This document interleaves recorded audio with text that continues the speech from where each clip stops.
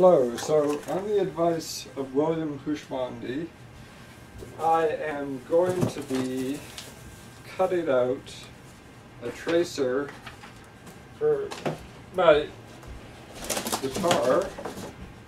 My guitar is Ninja Turtle green, and I want to get a hexagon on there.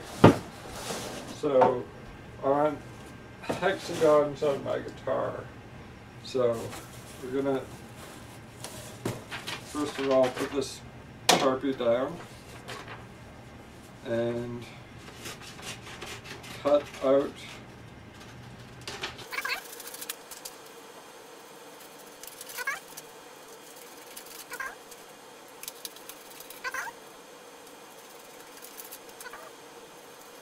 So, put that down, the other side.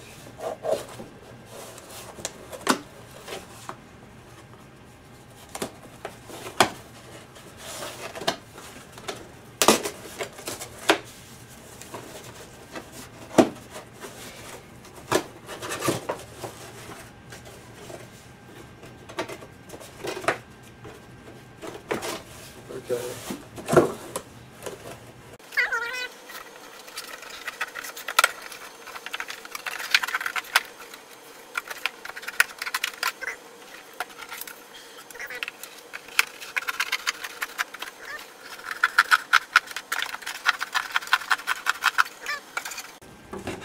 Thank you, Amazon.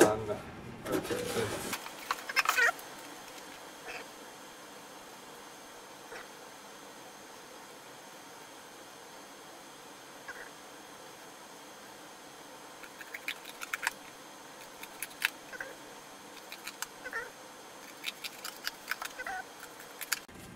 There we go. Now we have hexagon shape, more or less, for our guitar.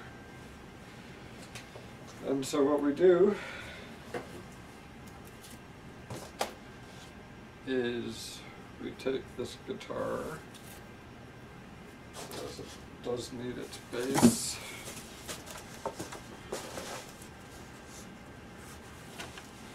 You know what? The paint's still drying, but basically, hexagon on there, and there we go, and um, a sharpie. So, green guitar, hexagon, and a sharpie.